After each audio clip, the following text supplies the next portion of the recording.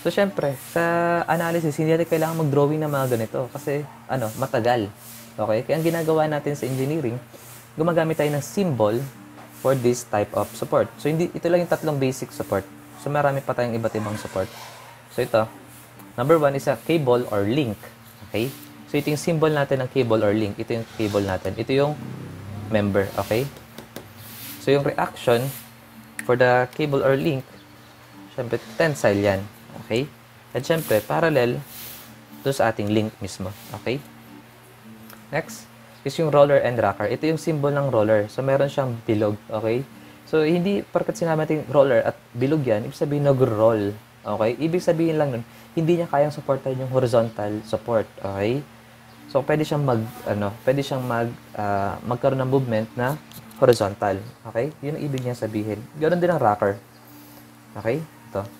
So, dito, since ang ating plane is horizontal, kaya yung ating reaction dito is vertical. Kasi yung vertical load is perpendicular to the plane. So, kung sakali man yung ating uh, plane is naka-incline, dapat perpendicular dun sa plane na yon. So, ganun din yung rocker. Okay? Next, smooth surface. Ganun din.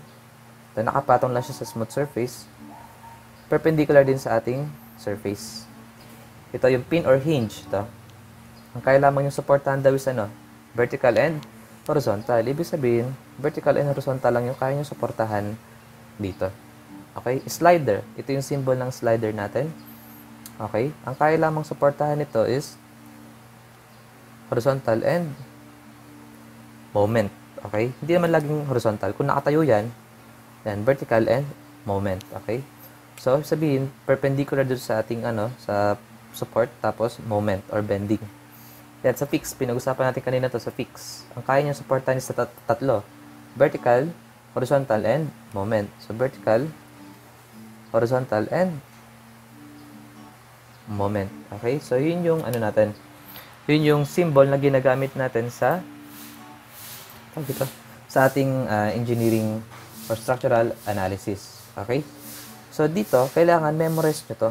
Okay? Yung reaction, kung ilan yung reaction sa iba't ibang type of support. Okay? Kasi yun yung gagamitin natin sa 1.7, structural stability and determinacy. Okay? So, dapat memorize ito. And note, itong type of support na to is dalawa. Okay? Ginagamit ito sa parehas.